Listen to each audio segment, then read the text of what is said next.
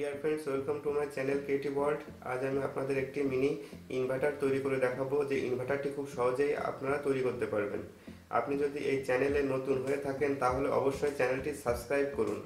আর আপনি যদি অলরেডি করে থাকেন দেন ইউ আর জিনিয়ার্স এই সার্কিটটি তৈরি করতে আমাদের কিছু ইলেকট্রনিক্স ইকুইপমেন্ট প্রয়োজন হবে।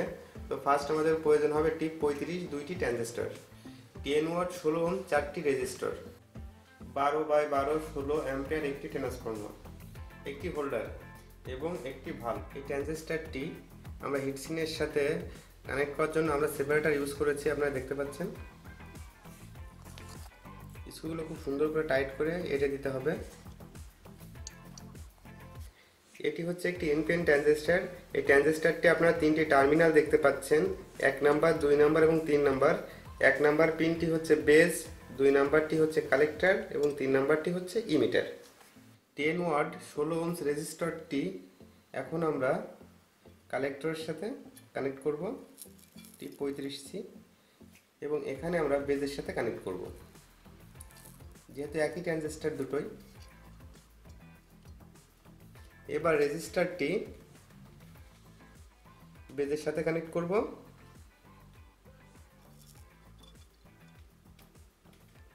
এবং কালেক্টরের সাথে কানেক্ট করব। এবার রেজিস্টারের এক প্রান্ত আমরা ট্রানজিস্টরের বেজের সাথে কানেক্ট করব।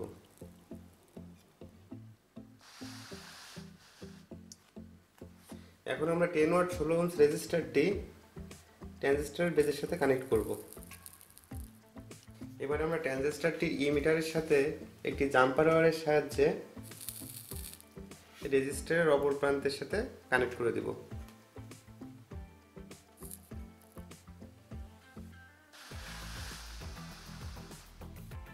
ঠিক একইভাবে আমরা অপর ট্রানজিস্টারের ইমিটারের সাথে একটি জাম্পার ওয়ার কানেক্ট করব।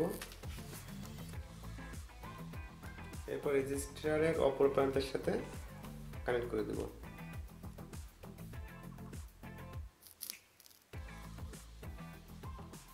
এবার আমরা একটি জাম্পার এবারের সাহায্যে দুইটি ট্রানজিস্টার ইমিটার কানেক্ট করব।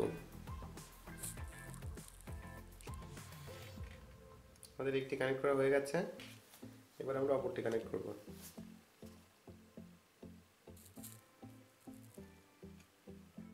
আমাদের ইনভার্টারটি তৈরি করতে গেলে আমাদের এই ট্রান্সফর্মারটি প্রয়োজন হবে। এই ট্রান্সফর্মারটির দুইটি সেকশন আছে, একটি হচ্ছে প্রাইমারি সেকশন অপরটি হচ্ছে সেকেন্ডারি সেকশন আমাদের প্রাইমারি সেকশন দিয়ে এসি ভোল্ট বের হবে। এবং সেকেন্ডারি সেকশনের কেবলগুলো আমরা সার্কিটের সাথে কানেক্ট করব। আপনার এখানে ট্রান্সফর্মারটির তিনটি, তার দেখতে পাচ্ছেন, এক নাম্বার দুই নাম্বার এবং তিন নাম্বার এক নাম্বার এবং তিন নাম্বার কেবলটি আমরা ট্রানজিস্টারের কালেক্টরের সাথে কানেক্ট করব।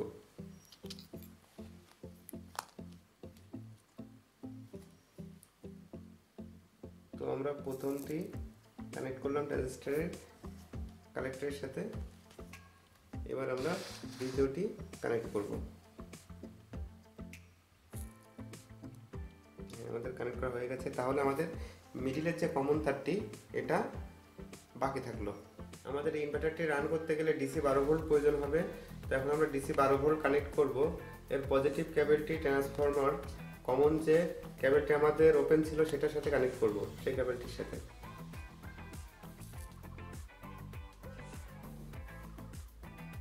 কানেক্ট করা হয়ে গেছে।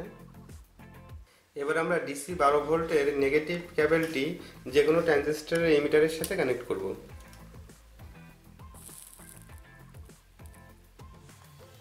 এবার আমরা হোল্ডারটি কানেক্ট করব ট্রান্সফরমারের কেবল দুইটির সাথে। আমাদের হোল্ডারটি কানেক্ট করা হয়ে গেছে। এবার আমরা ভাল্বটি কানেক্ট করব। ইনপুট ভোল্টেজ দেখাবার জন্য আমরা এখানে একটি ডিজিটাল মিটার ব্যবহার করছি। প্রথমে আমরা পজিটিভটা কানেক্ট করব। এরপর আমরা নেগেটিভ কেবলটি কানেক্ট করব।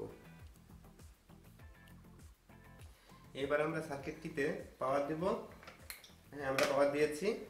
আপনারা দেখতে পাচ্ছেন যে আমাদের সার্কিটটি রান হয়ে গেছে। আমরা বলেছিলাম সার্কিটটিতে আমরা বারো ভোল্ট ইউজ করব। আমরা বারো ভোল্ট ইউজ করেছি বাট আমাদের সার্কিটটা যখন লোডে গিয়েছে, তখন তখনই আমাদের দুই ভোল্ট ড্রপ দিয়েছে। আপনারা দেখতে পাচ্ছেন এখানে দশ ভোল্ট শো করছে। এবং আমাদের এলইডিটা খুব সুন্দরভাবে জ্বলছে টু টোয়েন্টি ভোল্টে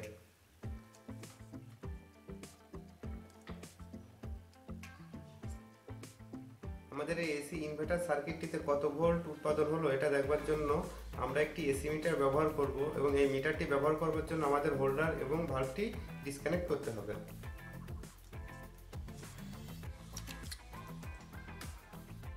এবার আমরা এসি মিটারটি কানেক্ট করব।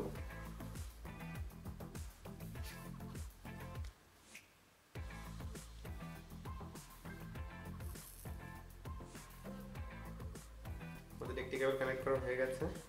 এবার আমরা কানেক্ট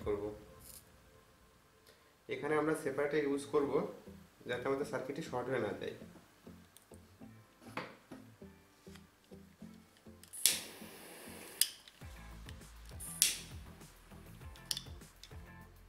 এবার আমরা সার্কিটটিতে পাওয়ার দিব। হ্যাঁ আমরা পাওয়ারটি দিয়েছি। আপনারা দেখতে পাচ্ছেন আমাদের ইনপুট ভোল্টেজ দেখাচ্ছে দশ এবং আউটপুট ভোল্টেজ দেখাচ্ছে একশো চৌষট্টি। অর্থাৎ দশ ভোল্ট থেকে আমাদের ইনভার্টারটি একশো চৌষট্টি ভোল্ট তৈরি করেছে। আমার এই ভিডিওটি ভালো লাগলে অবশ্যই লাইক কমেন্ট এবং শেয়ার করুন এবং সুন্দর সুন্দর ভিডিও পাওয়ার জন্য অবশ্যই চ্যানেলটি সাবস্ক্রাইব করে রাখুন।